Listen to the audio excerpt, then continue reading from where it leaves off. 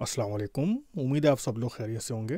वैसे तो बुग्ज़ इमरान का कोई हल नहीं है मगर आप जानते हैं पाकिस्तान में ही नहीं दुनिया भर में इमरान खान का फ़ैन है और उसकी अचीवमेंट को दुनिया सराहती है। आइए इरशाद भट्टी को सुनते हैं जिन्होंने बड़े ही अच्छे तरीके से इमरान खान की अचीवमेंट को कौम के सामने रखा है। आइए सुनते हैं। मैं जा, मैं जा रहा हूँ बिल्कुल। इमरान खान पिछले पचास सालों में पाकिस्तान का वाहिद ब्रांड जिसको दुनिया बाहर जानती है बाकी सब छान बुरा है।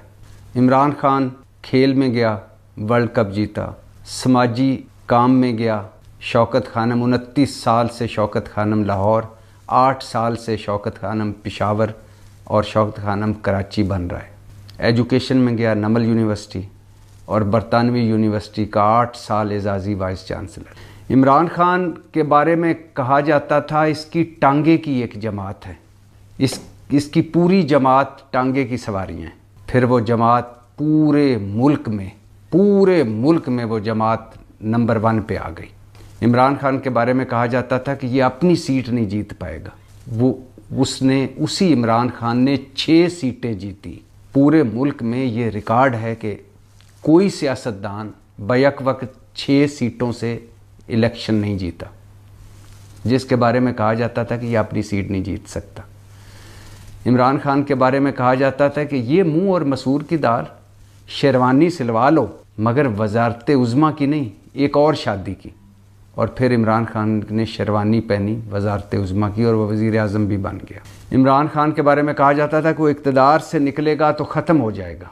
वो इकतदार से निकला तो बाकी सारे उसके सियासी मुखालफ ख़त्म हो गए। इमरान खान के बारे में कहा जाता था कि ये निकम्मा है, नाहल है पीडीएम मतलब बाकी सारी सियासी जमातें इकट्ठे मिल के कहती थी कि हम काबल हैं हम जहीन हैं हमारे पास हर मस, मसले का हल है। और फिर वो जब इकतदार में आए तो ऐसा लगा कि इमरान खान की हुकूमत तो उनके आगे गनीमत थी।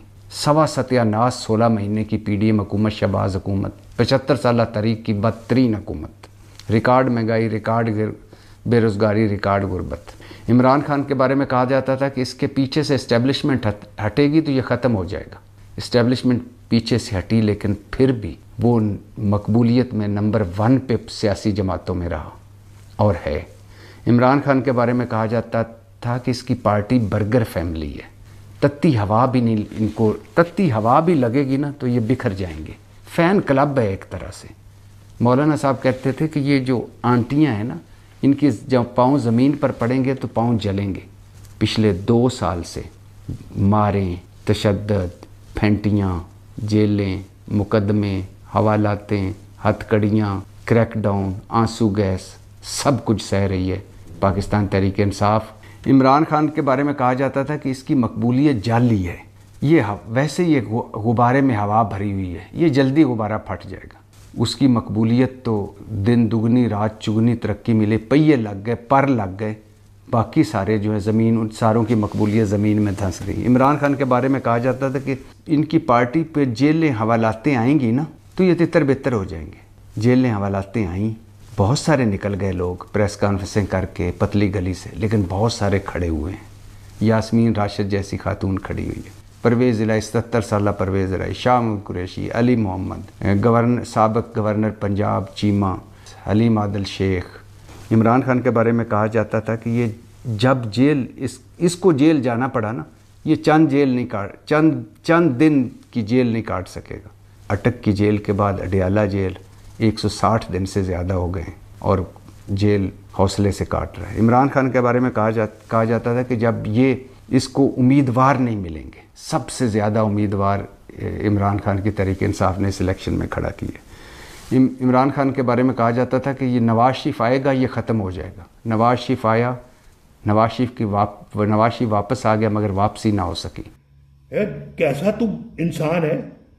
उम्मीद है आपको वीडियो पसंद आई होगी अपना ख्याल रखिएगा अपने इस चैनल का भी। और इमरान खान ने भी जेल से पैगाम भेजा है कि जिसने यहाँ तक वीडियो देख ली है वो कम से कम चैनल को सब्सक्राइब तो कर ले।